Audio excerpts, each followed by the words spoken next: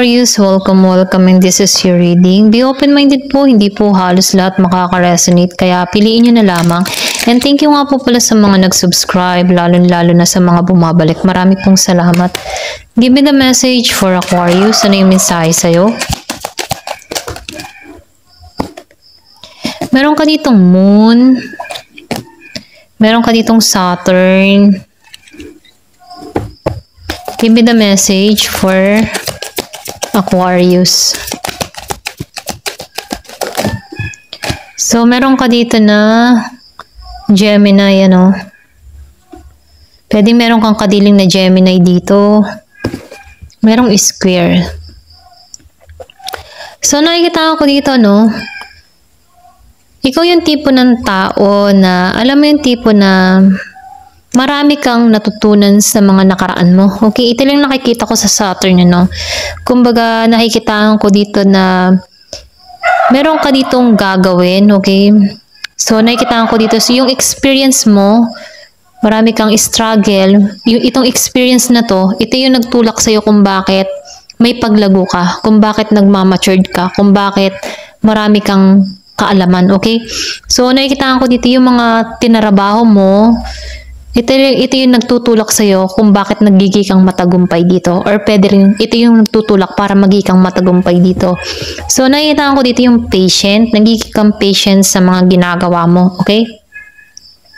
So, nakikita ko rin dito yung pagiging mong control, yung pagiging mong control sa sarili mo, no? Yung pagiging mong disiplina, okay? So, nakikita ko dito yung pag-iwas mo sa mga bagay na hindi makakabuti para sa'yo, okay?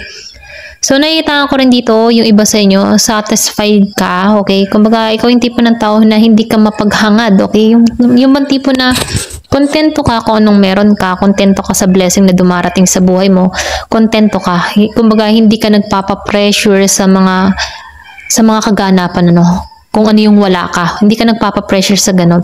Kumbaga nakikitaan ko dito, kontento ka kung ano yung ipinagkakalob sa ni God. Ganun. So nakikitaan ko dito, no, ikaw yung tipo ng tao din na maalalahanin, ano, maalaga ka sa yung mga family, sa yung kapatid, or pwede rin sabihin na iniisip mo yung kapakanan nila. Okay? Kumbaga, ikaw yung tipo ng tao na family-oriented. Ito lang nakikita ko sa'yo, no? So nakikita ko rin dito na ikaw magaling kang makipag-usap, magaling kang sa networking. Ito rin nakikita or pwede rin sabihin ganito yung larangan ng trabaho mo, networking or pwede rin sabihin komunikasyon, okay? Call center, mga ganyan, okay? Or mga agent, ganyan. So, nakikita ko dito yung transformation na nangyayari sa'yo. Matalino kang tao, okay? So, nakikita ko rin dito, curious ka din sa mga bagay-bagay. Pwede rin sabihin, marami kang gustong ma-experience, marami kang gustong mangyari, marating, mga ganyan, ano. So, nakikita ko dito yung transformation. So, nakikita ko dito, um, sinusubukan ka dito sa isang sitwasyon na to, no? Kumbaga, may mga pagsubok kang kinakaharap sa, sa, sa sitwasyon mo. Pero iti patungo sa tagumpay, ano? So, nakikita ko dito yung pag-akyat sa tagumpay, okay? Kahit may mga struggle ka na naranasan, meron ditong tagumpay na naghihintay sa'yo, okay? Ito lang nakikita ko, no? Kumbaga, may oras, okay? May panahon, pero ganun pa man, sinasabihan ka dito, no? Sundin mo yung intuition mo sa mga bawat hakbang na gagawin mo, okay? Kumbaga, ikaw lang din yung makakaalam niyan kung ano ba yung makakabuti para sa akin, ganun, okay? Kumbaga, binibigyan ka dito ng talino, okay, sa mga desisyon na gagawin mo, okay? Ito lang nafe-feel ko. So, nakikita ko rin dito, no, na ikaw yung tipo ng tao, no? Masyado kang concerned din sa iba. Okay, ito lang feel ko sa'yo, no? Kumbaga, halimbawa, meron kang kaibigan na nagsasabi sa'yo ng problema, concerned ka na abot ng iyong makakaya, matulungan tong tao na to, no? Kumbaga, andyan ka para mabigyan to ng advice or pwede sabihin magaling ka mag-advise, mga ganun, ano. So, ikaw yung tipo ng tao na ganun, ano. So, nakikita ko dito, maraming tao na nakakakuha or nakakahinga, okay?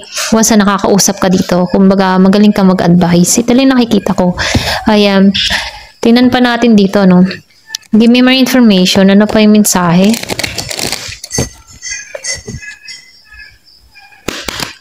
Give me the message.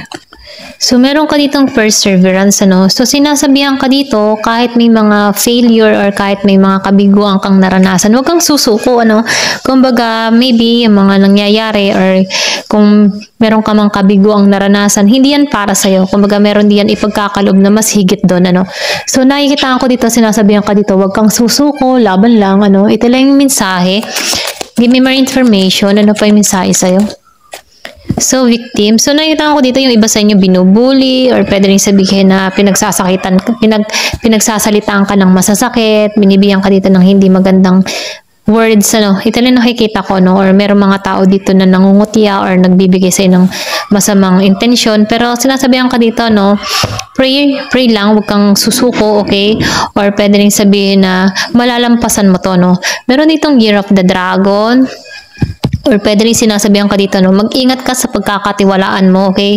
Kasi pwede rin sabihin na abusa, abusuhin yung pagiging mo mabait kasi masyado kang concerned sa iyong kapwa.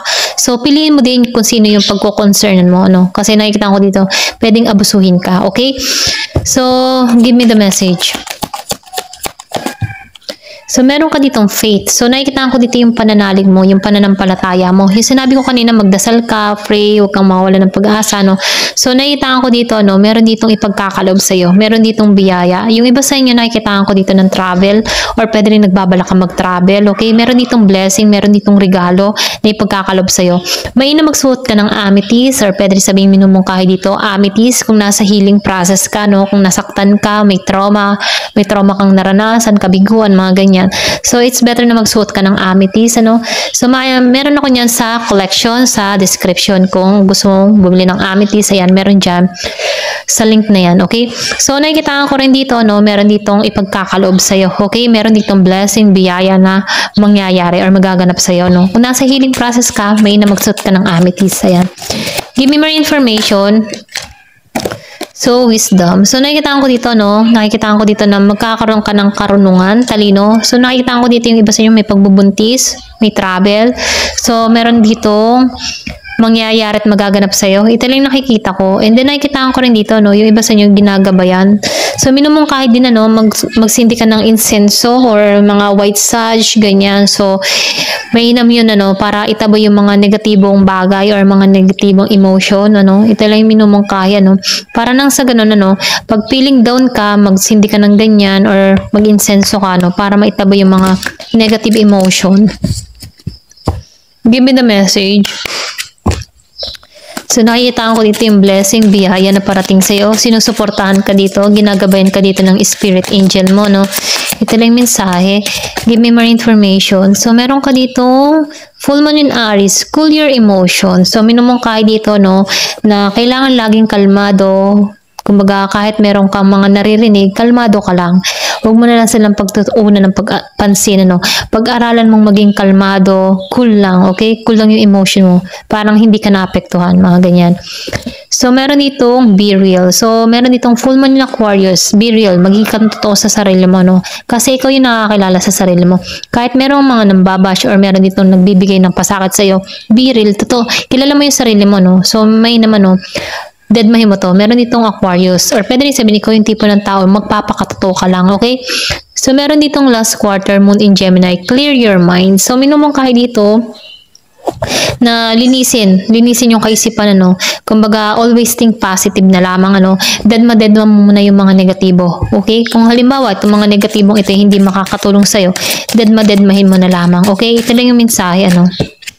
So, meron ditong first quarter moon in Cancer. Push through any insecurity. So, may naman, no? So, nakikita ko dito, no? Malalampasan tong mga insecurity. Pwede may mga tao na insecure sa'yo, okay? Sa mga achieve na nare-receive mo, sa blessing na nare-receive mo. Pwede rin sa, sa mga pag, sa ugali mo, yung mabuti mong ugali. Pwedeng naiingit sila sa pag-uugali mo. Pwedeng mabait ka, sobra ka mabait, okay? So, hindi nila kaya yon okay? Kumbaga, yung kabaitan is power. Ito lang nakikita ko, no?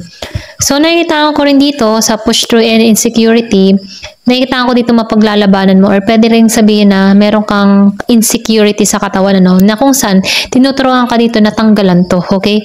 Tanggalan to mga insecurity nito kasi meron dito ipagkakalab sa'yo, okay? Ito lang yung mensahe, no? Kasi once na naiinggit, masama yun eh kumbaga papunta papunta sa masama yun ano. Kaya once naramdam mo sa sarili mo na nakakaramdam na ng ganitong insecurity iwas-iwasan na ano. Tanggal-tanggalan na okay? Ito lang yung mensahe no ito lang yung nakikita ko. Ay um, thank you for watching. Love and peace